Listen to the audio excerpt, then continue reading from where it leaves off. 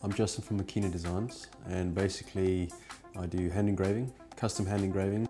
Basically anything that the customer wants, I kind of transcribe their artwork they've sent me and onto the, their form, the art form media, should we say, either aluminium or glass. It could be anything from a portrait, derby covers.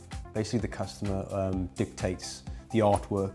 I use a, a Dremel. The Dremel I've got is a Dremel 4000. I've had that for about almost six years now. It's incredibly robust. I use it for most of my cutting, my engraving, my carving, my polishing. It's just a tool that I've always used. I had it around the house and I kind of just picked it up and just started messing around with it and I kind of fell into the engraving.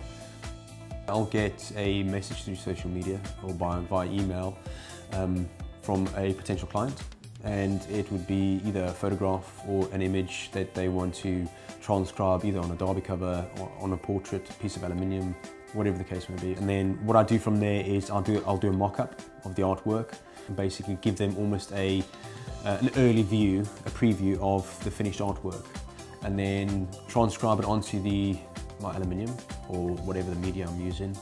And then it goes down to the engraving stand. Uh, I'll be down there um, engraving and depending on the finished product, it's I kind of I'll finish it off either with stippling or I'll do different textures in my own form because I can see the image and I know what to bring out and what to focus on. So I'll find through obviously the time and the experience I've had with a Dremel, I can pop images out of a photo and make a focal point around a photo. My most popular is um, anodized aluminium because you have a contrast of two different colors, of the black over across the silver. And what I do is I texture the silver in different ways to recreate the image and kind of make it vivid and stand out and bold and almost make it three-dimensional, should we say. Um, and the same goes for sort of cups and glasses and things like that because you have the opportunity to carve um, with a Dremel and things like that. So um, that's pretty how I do it, yeah. My awesome pieces are is a rim I did, which is that one over there. I did for a custom bike builder in um, Southampton, and basically that's just a showpiece for their for their, their showroom. I was given free reign with this, and it was it being a showpiece for their their custom shop. Obviously, I had to obviously put their name in there, and something else that's something it will appeal to obviously their customers and things. So what I've done there is basically done the Celtic design um, eternity bands and then attitude cycles and then it just stippled everything all the way around. And basically what that does it just pops the image out of your room. So and it gives it almost like a diamond effect. So it's quite cool. That's how it pops. Uh, a, a, particular piece that I've recently done for a lady um, is a memorial piece.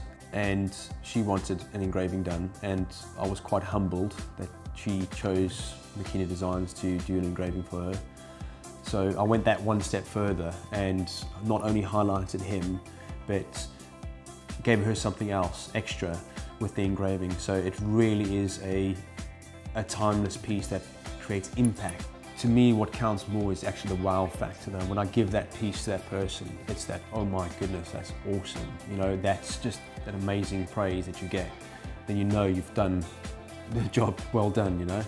Um, so no money can, you know, take that away from you, which is quite cool, you know. So believe it with your core um, that this is what you want to do, and that brings the best out of you, and that's what people invest in is not only your artwork, but in you as a person and your brand because of how you are. Do what you love doing. If you want to do something, just do it. Just pick it up and do it. If you can visualize something, you can have it.